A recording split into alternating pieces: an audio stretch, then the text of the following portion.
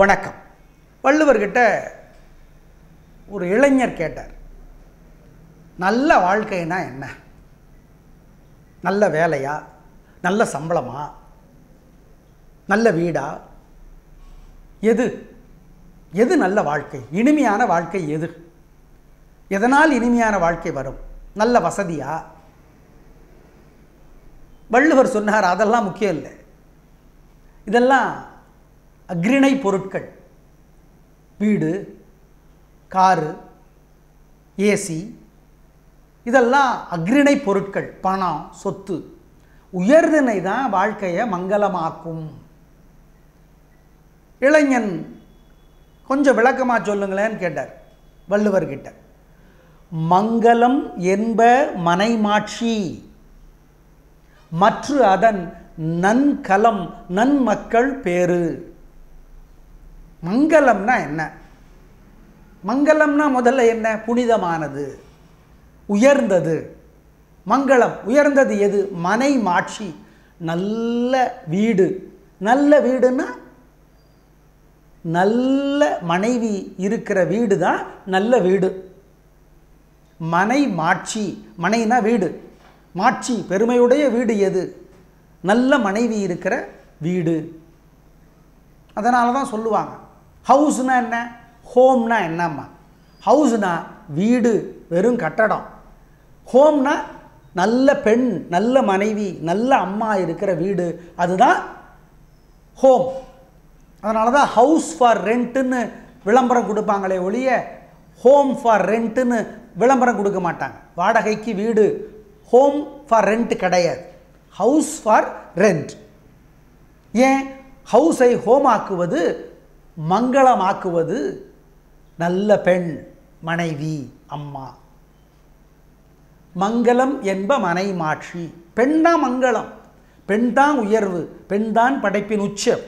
ஆணல்ல பெண்மையின் சக்திக்கு முன்னால் ஆணினுடைய சக்தி ஓர் அற்ப புழு என்பார் பெரும் கவிஞர் எழுத்தாளர் பலர் குறிப்பாக ஜெயகாந்தன் அவர்கள். எனவே மங்களம் என்ப மனைமாட்சி பெண்தான் ஒரு வீட்டை மங்களமாக ஆக்குகிறாள். எப்படி ஒரு பெண் அப்படி ஆக்குறான்னா நல்ல பண்புடையவளாக அந்த பெண் இருப்பதால். பெண்ணிற்கு தானே இரக்கம் அதிகம். பொறுமை அதிகம். அன்பு அதிகம். அல்லது இப்படி சொல்லலாம் அன்பும் பொறுமையும் இரக்கமும் யாருக்கு அதிகமாக இருக்கிறதோ அப்படி இருந்தால்தான் அது பெண். மற்ற அதன் நன்கலம் நன்மக்கள் பேரு நல்ல குழந்தைகள். பண்பான குழந்தைகள். இப்பெல்லாம் பல பேர் இப்போ சமூகத்தில் உயர் பதவியில் இருக்கிறவர்கள் உயர் இடத்துல இருக்கிறவர்கள் எல்லாம் என்ன விரும்புகிறார்கள்? என் பையனும் பொண்ணும் ஒழுங்காக இருக்கணும் நல்லா இருக்கணும் கெட்டு போகாமல் இருக்கணும். அப்போ ஃப்ரிட்ஜில் வச்சிட வேண்டியதானே கெட்டு போகாமல் இருக்கிறதுக்கு சரிதான். என்ன ஃப்ரிட்ஜில் வைக்கணும்? நற்பண்பு அப்படிங்கிற ஃப்ரிட்ஜில் வச்சுட்டா குழந்தைகள் கெட்டு போக மாட்டார்கள். அப்படின்னா அவங்களுக்கு நல்ல பண்புகளை ஊட்டி வளர்ப்பது. நன்கலம்.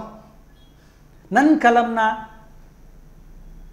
நல்ல பாத்திரம். நம்முடைய கையில் ஒரு தங்க பாத்திரம் இருந்தால் எப்படி இருக்கும்? ஒரு வெள்ளி பாத்திரம் இருந்தால் எப்படி இருக்கும்? ஏன்? மணிமேகலை கையில் அமுத சுரபிங்கிற பாத்திரம் இருந்துச்சு. அமுத சுரபி என்ன பண்ணும்? எதை கேட்டாலும் கொடுக்கும். அதுதான் அஷய பாத்திரம். அப்படி நம்ம கையில் இருக்கிற ஒரு அஷய பாத்திரம் எது? எதை கேட்டாலும் தருகிற ஒரு புண்ணிய வலிமை கொண்ட தவ வலிமை கொண்ட பாத்திரம் எதுன்னு கேட்டால் அதுதான் நன்மக்கள். நன்மக்கள். அது நம்ம கையில் இருக்கா? குழந்தைகள் நல்ல குழந்தைகளாக வளருவதற்கு யார் காரணம்? எந்த குழந்தையும் நல்ல குழந்தைதான் மண்ணில் பிறக்கையிலே அது நல்லவராவதும் தீயவராவதும் அன்னை வளர்க்கையிலே. புலமை பித்தன் பெரும் கவிஞர் எழுதியிருக்கிறார். ஆனால் அதை கேட்டுவிட்டு பல அம்மாக்கள் சொல்லுகிறார்கள் நாங்கள் நல்லா தாங்க வளர்த்தோம். நாங்கள் நல்லதை தான் சொன்னோம். நாங்கள் நல்லா தான் பண்ணினோம். அவன் சரியாக வரலையே. நாங்கள் என்ன பண்ணுறது அப்படி இருக்கு. சரிதானே? நன்றாக பதியம் போட்டு களை எடுத்து நன்றாக உரம் போட்டு தண்ணீர் பாய்ச்சி செடியை வளர்க்கிறோம். அந்த செடி முள் செடியாக வருகிறது. நல்ல விதையை போட்டிருக்கோம். நல்ல விதையை தான் போட்டோம். வளர்த்த கடா மொட் முட்டை வந்தா வச்ச செடி முள்ளானா? என்ன பண்ணுறது வருதே அப்படி. அப்போது என்ன பண்ணுறது அறம் நல்ல வழியிலே வாழ்க்கை நடத்துகிற பொழுது மங்களம் என்ப மனை மாட்சி. நல்ல பண்புடைய பெண் நல்ல பண்புடைய மனைவி. பெண் தான் படைப்பினுடைய சிறப்பு என்று பலர் சொல்லியிருக்கிறார்கள் மோசமான பெண் ஒருபோதும் இருப்பதில்லை. மோசமான ஆண் சேர்ந்துதான் ஒரு பெண்ணை மோசமான பெண்ணாக மாற்றுகிறார்கள். எனவே மற்ற அதன் நல்ல குழந்தைகள் வேணுமா இல்லைங்களா? அதான முழுமையான வாழ்க்கை. நல்ல பதவிக்கு வந்தால் கூட வரலன்னா கூட பரவாயில்ல. நல்ல பண்புடையவராக இருக்கணும். அப்படி தான் இப்போ எல்லாரும் எதிர்பார்க்கும். இப்போ பல பேர் அப்படி தான் கேட்குறாங்க என் பையன் நல்ல பதவிக்கு வருவானா? நல்ல சம்பாதிப்பானா? அப்படின்னு கேட்குறத விட வயசான காலத்தில் எங்களை பார்த்துக்குவானா? எங்களுக்கு சோறு போடுவானா? எங்களை எங்கேயாவது துரத்தி விட்டுருவானா?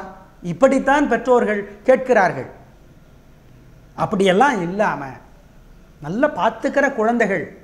ஏன்னா நீங்கள் நல்லா பார்த்துக்கிட்டோம். அவங்க பார்த்துக்காம போகிறது இருக்குல்ல? அப்படி வரணும்னா என்ன? எது நல்ல குடும்ப வாழ்க்கை? முழுமையான வாழ்க்கை எது? நீங்கள் எவ்வளவு சம்பாதிச்சீங்க எவ்வளவு சொத்து சேர்த்தீங்க என்ன பதவிக்கு வந்தீங்கிறதெல்லாம் முக்கியம் கிடையாது. இனிமையான வீடாக உங்கள் வீடு இருக்கிறதா? எவ்வளவு பணம் வரட்டும் வராமல் போகட்டும். பண்புடைய பெண் மனைவியா? நல்ல அப்பா அம்மாவா? நல்ல குழந்தைகளா? நல்ல குழந்தைகள்லாம் நல்லா படிக்கிற குழந்தைகள்னு நினச்சிக்க வேண்டாம். அதல்ல. எல்லா குழந்தைகளும் ஃபஸ்ட்டு மார்க் வாங்க முடியாது. நல்லா படிக்குது அப்படிங்கிறது அவ்வளவு முக்கியமும் கிடையாது. சராசரியாக படித்தா கூட போதும். தோல்வியுறாமல் படித்தாவே போதும். பல பல எஜுகேஷனல் சைக்காலஜிஸ்ட் கல்வியியல் உள நிபுணர்கள் மனநல நிபுணர்கள் என்ன சொல்கிறாங்க ஃபெயில் ஆகாமல் படித்தா போதுங்க. ஐம்பது மார்க் ஐம்பதுக்கு மேலே வாங்குறாரா? போதும். வேறு வழியில் நம்ம ஜெயிச்சு வந்துடலாம் எல்லாருமே மருத்துவர் ஆகணுமா? எல்லாருமே அரசு மருத்துவக் கல்லூரிகளில் மருத்துவர் தான் ஆகணுமா? அப்போ மருத்துவர்கள் மட்டும்தானே பணக்காரராகவும் செல்வாக்குடையவராகவும் இருக்கணும். அப்படி இல்லையே சமூகத்தில்? நம்மளா நம்மளை ஏமாற்றிக்கிறோம் அப்படின்னு நினச்சி. எனவே நன்மக்கள் நன்மக்கள்னால் என்ன? பெற்றோர்களை சிரமப்படுத்தாமல் வலி தராமல் நல்ல பண்புடைய குழந்தைகள் வைத்திருப்பது இருப்பது பேரு பெரிய பாக்கியம். அதுதான் பெரிய பாக்கியம். ஒரு பையன் கலெக்டர் ஒரு பையன் ஐபிஎஸ் ஆஃபீஸர் அப்படியெல்லாம் அவசியம் கிடையாது. ஒரு பையன் பெரிய டாக்டர் அப்படியெல்லாம் ஒன்றும் கிடையாது. எங்கள் பசங்கள்லாம் அமெரிக்காவில் இருக்காங்க. ஒன்றும் அவசியம் இல்லை. சாதாரண வேலையில் சாதாரண சம்பாத்தியத்தில் கூட இருக்கலாம் தவறொன்றுமில்லை. அவர்களுடைய பண்புகள் நல்ல பண்புகளாக இருந்தால் அதுவே போதும். இதைத்தான் வள்ளுவர் அழுத்திச் சொல்லுகிறார். மங்களம் என்ப மனைமாட்சி மற்ற அதன் நன்கலம் நன்மக்கள் பேரு நல்லதொரு குடும்பம் பல்கலைக்கழகம். அதனால் பெற்றோர்களை குழந்தைகள் ரொம்ப படிக்கலையா? முடிஞ்ச அளவு படிக்க வைப்போம். அவங்களும் படிக்கட்டும். அவர்களுக்கான வாய்ப்புகளை அவர்களுக்கான வழிகளை ஏற்படுத்தி தருவதோடு நம்முடைய கடமை முடிகிறது. அதற்கு பிறகு அது அவர்களுடைய சமத்து அவர்களுடைய புத்திசாலித்தனம் என்றுதான் வள்ளுவம் சூசகமாக சொல்லுகிறது.